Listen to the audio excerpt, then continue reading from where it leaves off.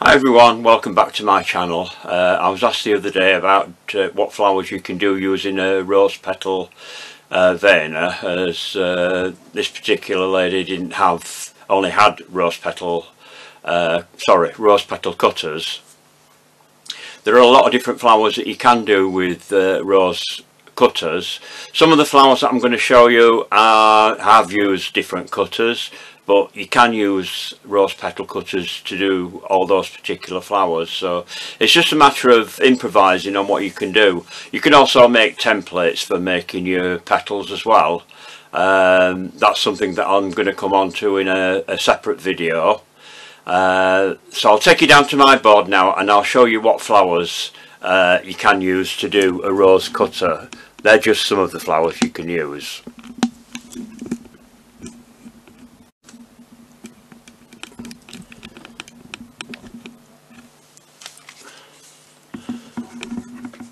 Right, as you can see I've got a lot of flowers down here that uh, um, that I brought out to show you, things that I've done in the past. What I'll do is I'll put the links uh, in below to uh, take you to these particular uh, videos and just improvise by using the rose petal cutter instead of the uh, cutters that I'm going to show you. So one of the first ones that I'm going to show you here is the anemone so we'll come on to this one first. I have used an anemone cutter for this but it's just just as good using a, a, a rose petal cutter if you haven't got an, an anemone cutter. It's just that anemone cutters are slightly narrower than a rose petal cutter. So that's one of the flowers. Then of course you've got your roses.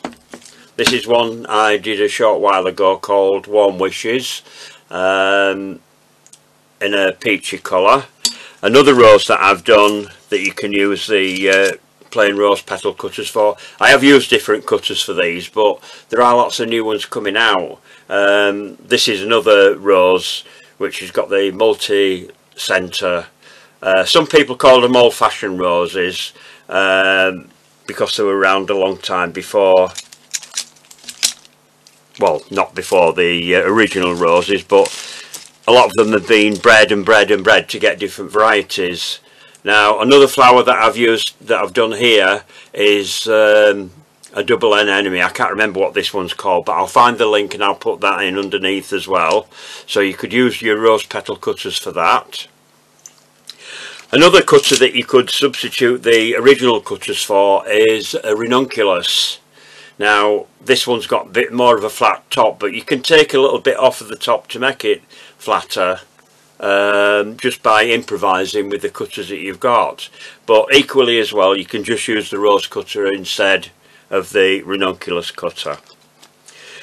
Another flower that's very popular this is in this arrangement here. I'm just going to tip this up to the side here is um, your hellebores these can also be used use a rose petal cutter. I have used rose petal cutters for a lot of these flowers in the past when I haven't had the uh, the original cutter to do it.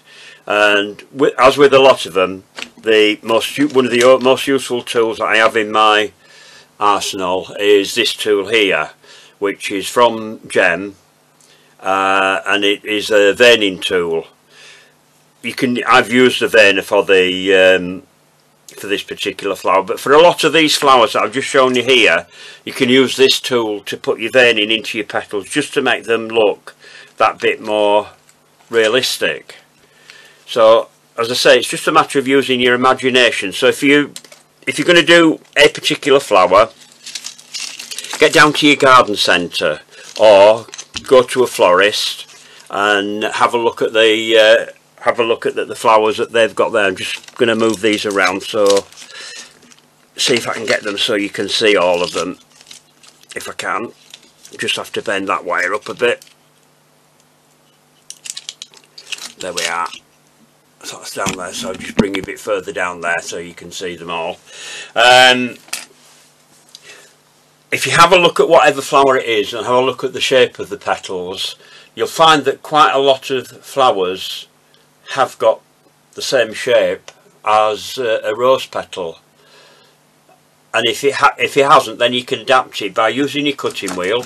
Another useful tool to have in your arsenal is this one. You've got two wheels one on either end. This is another PME tool. Don't be buy the cheap ones of these because with a lot of the cheap ones the ends come off. That won't come off on PME I've had these donkey's years and they're still in one piece so I hope that's helping you a bit. So what I'll do is I'll have a look through all of my videos and I'll put the links down below to uh, the videos that, of the flowers that you can use a rose petal cutter for.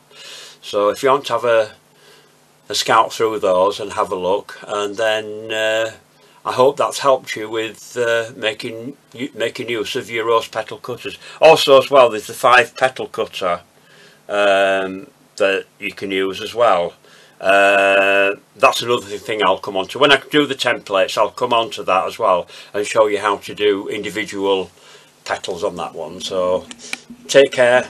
See you soon. Stay safe